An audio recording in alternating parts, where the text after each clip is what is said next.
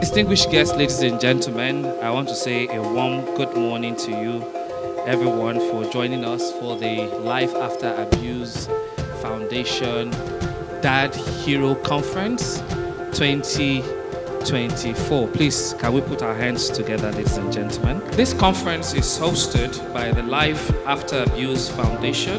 Today, we gather to address a long standing issue that has gone unspoken for far too long.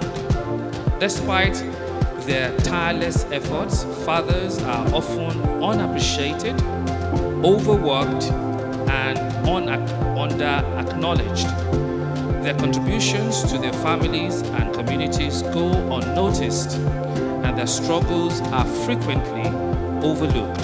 Please make welcome His Excellency the Mr. Governor, ably represented here by the Commissioner for Establishment, Training and Pension, Honorable Ayon Tayo Afolabi. Please put your hands together for him as he comes forward. I commend Ali Malayeni for this visionary initiative that exemplifies the positive impact that can be achieved when we come together to support each other in our time of need.